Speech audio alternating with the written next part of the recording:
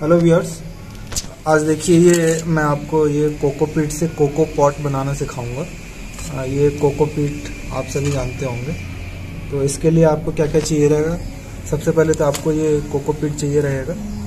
उसके बाद थोड़ा पानी चाहिए रहेगा। फिर एक और ये बाउल मैंने लिया हुआ है।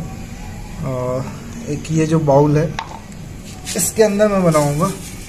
तो ये सबसे पहले ये जो बाउल है, इसके अंदर मैं ये पॉलीथीन लगा देता हूँ। इस तरह से मैं इसमें ये पॉलीथीन लगा दूँगा अंदर से। आ, फिर एक और ये बॉटल मैंने ली है जो इसके अंदर ये फिट हो जाए। इस तरह से ये बनाएँगे। तो और ये साथ में ये फेविकोल भी चाहिए रहेगा। ये देखिए फेविकोल मैं लेके आया हूँ। सबसे पहले ये फेविकोल को मैं काट लेता हूँ। ये फेविकोल को देखिए, मैं इस बाउल में डाल देता हूँ। ये। और फिर इसमें मैं पानी ऐड कर रहा हूँ। इतना पानी ऐड करना है ताकि ये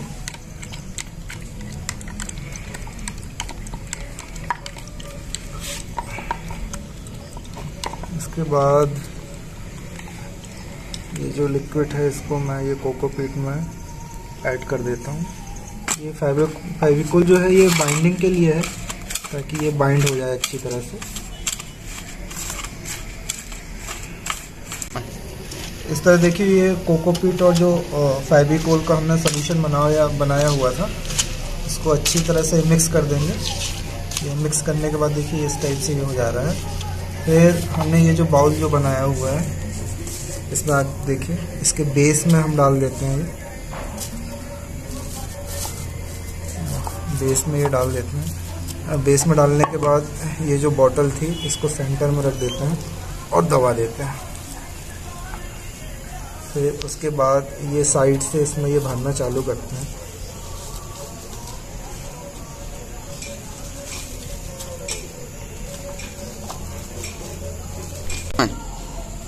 ये देखिए, मैंने चारों तरफ़ से अच्छे से इसको दबा दबा के मैंने भर दिया है।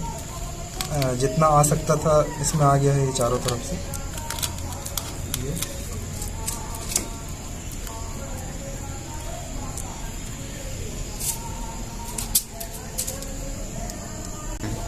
फिर ये जो अंदर वाली ये जो बॉटल है, इसको हल्के हाथों से ये चारों तरफ़ से ये घुमाकर, हल्के हाथों से ये चारों तरफ़ से घुमाकर ये निकाल देंगे। ये देखिए।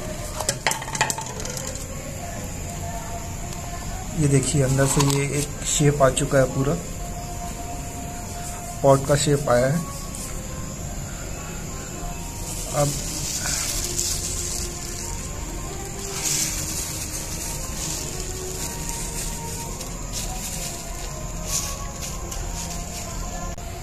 अंदर वाली ये बोतल निकल चुकी है। अब ये बाहर वाला कवर निकालना है और इसको हम हल्के हाथों से ये पलट देंगे। पलटने के बाद फिर ये डिब्बे को ये देखिए, निकाल देते हैं। ये देखिए, ये बाहर का भी कवर ये निकल चुका है। अब इसको हम 24 फोर आवर्स के लिए सेट होने के लिए रख देंगे। हाँ?